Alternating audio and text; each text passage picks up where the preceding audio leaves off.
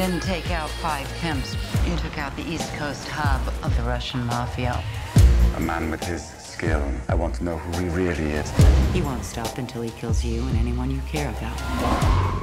Very nice to meet you. You too, Dave. Thank I you. got to I got to tell you though, right now, sitting across from you, I'm a little nervous because of your character.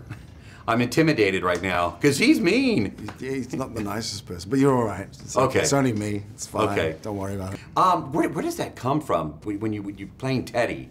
It's a very intense character. Well, we had the text to start with, and then um, I went off into sociopath, psychopath land.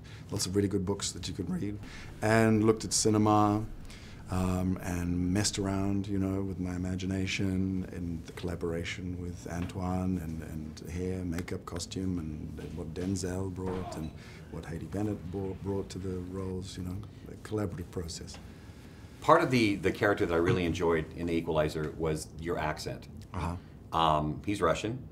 How did you tell me about putting that together? The accent is a is a more of a, a result of his psychology rather than his, na- his nationality. It's a continental accent, and it gave him some lucidity and sophistication and ease and and charm. And then also, uh, sociopaths supposedly speak in a rather relatively monotone, um, sometimes even boring way. You're like, like lint or a bottle cap. You're just a thing to remove. Uh, what's it like to work with Denzel Washington? Fantastic, yeah.